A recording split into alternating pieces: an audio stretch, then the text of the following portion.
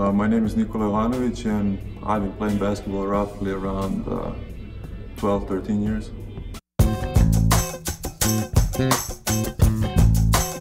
Oh, that's a long story because uh, my dad used to be a professional basketball player and uh, everybody thought that he was the one who uh, like put me or like just uh, made me find a way to play basketball but like um, he never pushed me really it was uh, more just me playing in a living room and finding some like old CDs and uh, one of the CDs was uh, were his highlights so I just like played them and uh, I was just looking at it for like an hour and I fell in love with basketball and I was like daddy daddy let's go. I want to play this sport.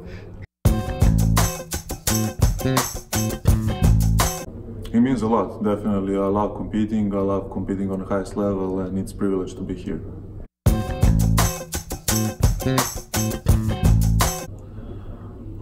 just uh, first year, first year. Just like for me, it's all the same. Like I'm trying to like get better every day. Mm-hmm. Uh, it's all about competing and uh, coming there and giving my best.